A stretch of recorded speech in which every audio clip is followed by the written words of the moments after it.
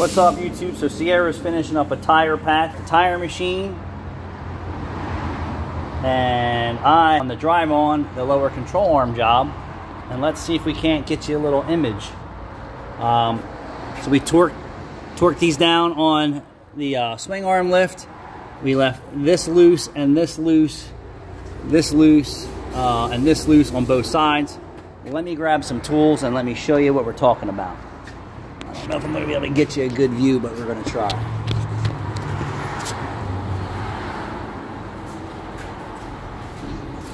Show to work, they say. Making a video, bro. Video, sir. I don't call me sir. I work for a living. Oh, so it is. Yeah, where where would the uh, where would this car be parked? Right over here. Uh, right to the left. Came Across the world. Anyway, good to see you, man. How you doing? Have a good Fourth of July. Thank you. You and yours. So, all right. So this is pretty simple. The vehicle's in ride. Uh, we don't use torque wrenches around here. We just we, we send it home. All right. So that's tight. What size were those? You remember? And we're gonna go this side. You probably can't see me. We're gonna tighten this. Now you won't have any bind in the suspension. So that means that the bushings and the, and the rubber can actually work in a natural position. You're gonna need two wrenches. Actually, you could just use an air gun and a wrench. All right, so that side's torqued down to 37 foot-pounds of right-hand torquage. Uh, next is going to be this forward one. Yes, Thor. And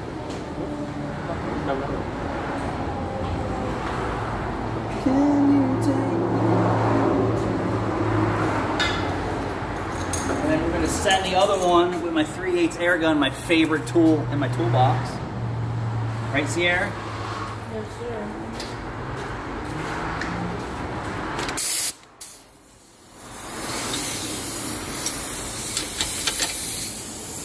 Send her home.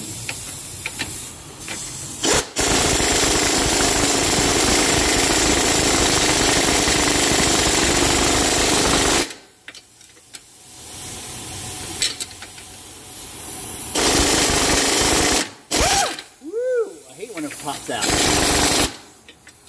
Give a little extra ugga dugga.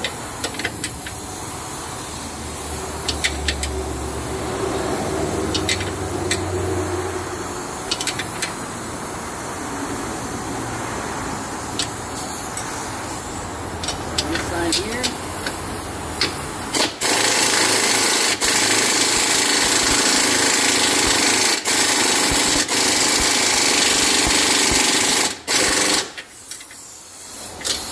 Should be it.